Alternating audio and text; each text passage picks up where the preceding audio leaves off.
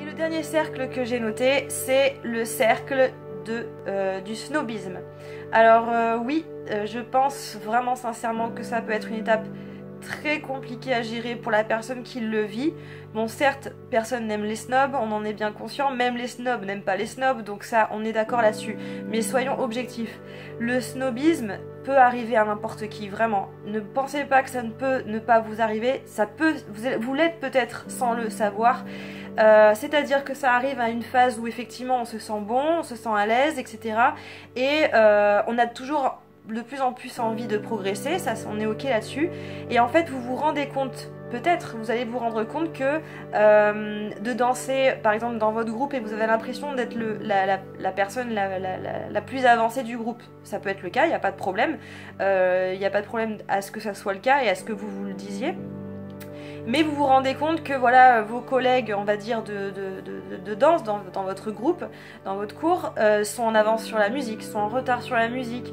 Euh, du coup, euh, le professeur peut arriver à, simplifier peut-être des pas en fonction de la majorité et donc vous pouvez vous sentir frustré et développer un espèce de voilà, de, un peu de ras-le-bol d'être dans un endroit où en fait vous, vous avez l'impression de que ça ne vous apporte pas et d'être avec des gens moins bons que vous. Et donc développer un, sentir en fait que euh, voilà ça ne vous convient pas. Et donc ça peut être très déstabilisant parce que si vous, vous ne voulez pas et que vous n'êtes pas comme ça euh, naturellement et que vous, voilà vous allez euh, peut-être avoir tendance à être exaspéré voyez à être énervé. Et en fait à, s'en rendre compte on peut développer un sentiment de punaise mais je suis pas comme ça voilà donc essayez de, de, de vous dire à ce moment là euh, que ce n'est pas grave, ça peut arriver d'être exaspéré parce que vous avez l'impression du coup de ne pas évoluer, euh, mais sachez qu'il y a des solutions. Vous pouvez très bien demander à votre professeur peut-être de changer de cours, bon, en sachant qu'il faut prendre des gants parce que s'il ne vous a pas bougé de cours, à mon avis, c'est que vous avez quand même besoin d'y être. Euh, ou alors une autre manière de, c'est euh, d'observer effectivement euh, ce que le professeur va dire sur vos collègues qui sont un peu moins bons que vous, euh, et d'aller et de faire comme si c'était à vous que, le message est transmis. Même si vous, vous n'êtes pas en avance sur la musique, écoutez vraiment ça. Ça ne peut que vous améliorer, que vous améliorer parce que peut-être que là vous n'êtes pas en avance, mais peut-être que la minute d'après vous l'êtes. Voyez? Donc prenez quand même tous les conseils malgré le fait que vous ne vous sentez pas forcément concerné quand le professeur va réexpliquer un côté-côté et que vous le savez euh, parfaitement comment le faire, écoutez quand même les détails de ce que le professeur peut dire parce que dans sa manière de parler, même si c'est un professeur avec qui vous êtes depuis longtemps, il va peut-être lui avoir évolué dans sa manière d'enseigner et donc changer un petit peu la manière d'expliquer et ça va peut-être vous apporter un petit détail, un tout petit détail qui va faire que votre mouvement va encore s'améliorer. Voyez donc tout ça, dites-vous que euh, essayez de, de, voilà de de ne pas vous dire que ça ne sert à rien, voilà d'une part.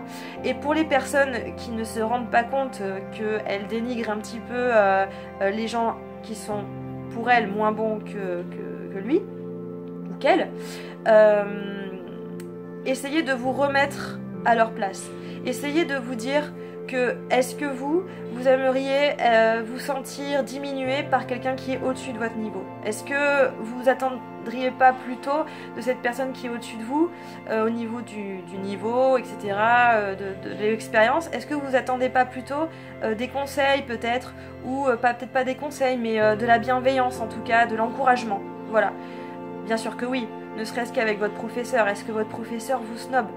Non. Donc, pourtant, il a plus d'expérience, c'est son métier, et pourtant, il est là à vous encourager, etc. Essayez d'avoir la même attitude avec les personnes qui ont le, qui ont du mal, même si ça peut paraître, euh, voilà, euh, ça part d'un sentiment très primaire.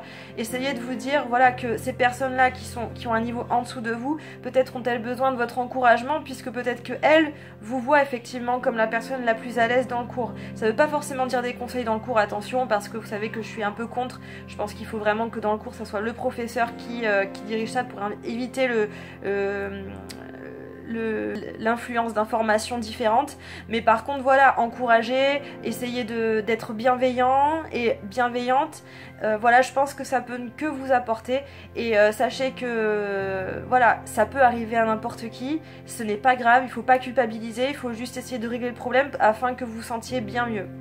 Voilà, en conclusion, j'espère que euh, si vous vous sentez concerné dans ces trois cas, j'espère que ça vous aura aidé. Et sachez que la patience et, et le, fait de continuer fait que jamais vous, vous, ne, vous ne tomberez dans ce cercle, dans ces cercles, vraiment euh, ces cercles qui peuvent vous donner envie d'abandonner. Continuez tranquillement sans vous mettre la pression surtout. Et, et je vous souhaite à tous une bonne semaine. Ciao